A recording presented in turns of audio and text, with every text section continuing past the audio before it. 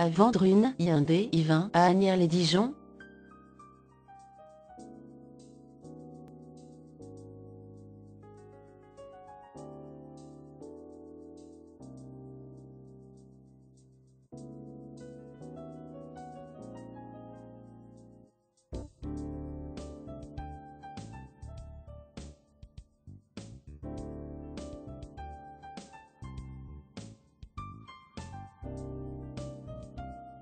Pour plus d'informations, cliquez sur le lien dans la description.